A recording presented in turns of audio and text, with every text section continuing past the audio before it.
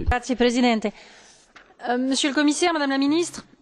je voudrais d'abord remercier les collègues qui ont travaillé sur ce rapport, mais aussi la Commission qui a fait un travail cette année, je tiens à le souligner, qui est beaucoup plus complet que celui de l'année dernière et beaucoup moins focalisé sur une conception, je dirais, préconçue de l'économie. Pour cela, nous vous en remercions. Je crois qu'il y a une chose qui est importante aussi, c'est de mettre en cohérence les différents documents. Parce que manifestement pour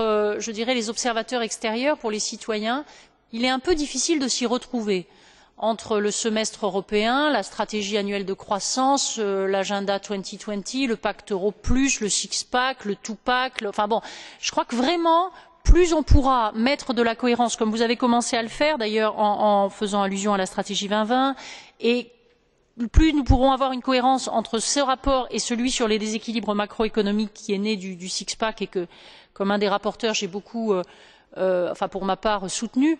plus on ira dans la bonne direction. je tiens à souligner que notamment je trouve très important que ne disparaisse pas l'une des cinq priorités de la stratégie deux mille vingt qui est la lutte contre la pauvreté et l'exclusion. vu la situation dans de nombreux états membres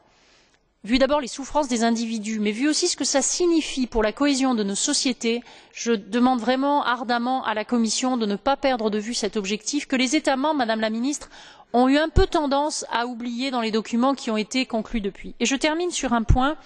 il faudrait que nous fassions très attention à ne pas avoir une vue de cette question qui se borne à des procédures on a un peu l'impression qu'on multiplie les documents je préférerais vraiment qu'on arrive à multiplier les emplois et je compte sur vous madame la ministre si vous arrêtez de téléphoner pendant le débat pour que peut être nous ayons de la part du danemark une impulsion forte puisque votre pays s'est illustré dans ce domaine et que nous aimerions bien pour notre part pouvoir adapter à nos pays les solutions qui ont été trouvées chez vous. merci.